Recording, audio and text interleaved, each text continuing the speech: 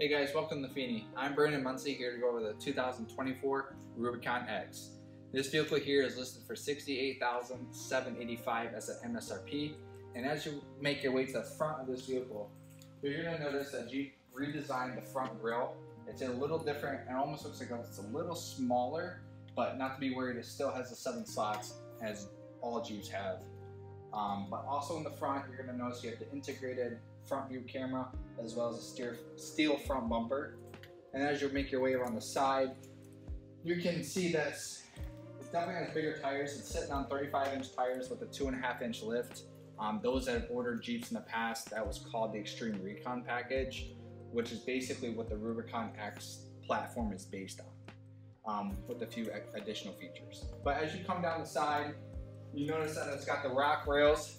You got some skid plates underneath of it, as normal a Rubicon should.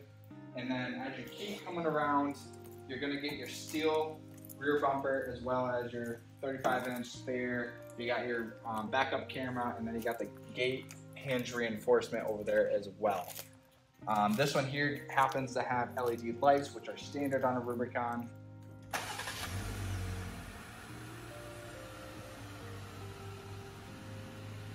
Hey guys, welcome to the inside of the 2024 Rubicon X. This has standard leather, but the best part about these seats here is that they're gonna be power seats. You got power driver and passenger with lumbar support. Now, also standard to the 2024 is a 12.3 inch touchscreen display, the largest Jeep has to offer against any model or make. Um, that's gonna be standard on all levels, as well as the adaptive cruise control uh, new safety feature, which are the side curtain airbags that they just added to the 2024 edition. Um, you got the built-in navigation, and now in Jeep on the 2024 edition, you got Bluetooth Apple CarPlay. So now without plugging in your phone and having the cords dangling all around, you can now just Bluetooth it and instantly your Apple CarPlay will come up from your phone, um, as well as Android CarPlay.